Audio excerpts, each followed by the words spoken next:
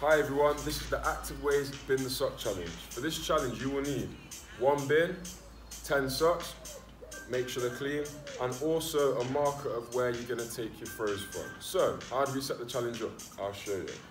What you need to do is place the marker down. You will then take five small steps, one, two, three, four, five, and that is where you're going to place the bin. So, the aim of the challenge is to try and get as many socks in that bin as you can. So when we are throwing, we need to make sure we're using good accuracy to get these socks into the bin. Okay? So I'm gonna have a go and see how many I can get. Remember, there's no time restriction when you're doing this, so you can take as long as you want, and if you need to take longer to use more accuracy, that's what you need to do. Okay? Let's go. One.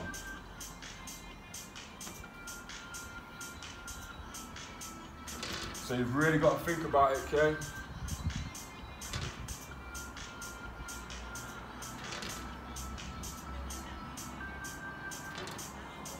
Four more left.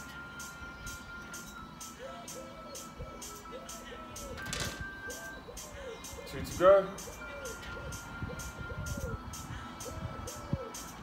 So let's count up my score and see how many I got.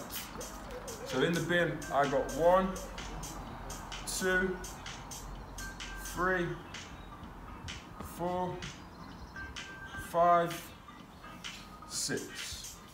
So I got six out of 10. I want you guys to try it at home and see how many you can get. Once you've done it, you can also do it again and try and beat your own score, or you could go against a brother or sister, or have a go against a friend.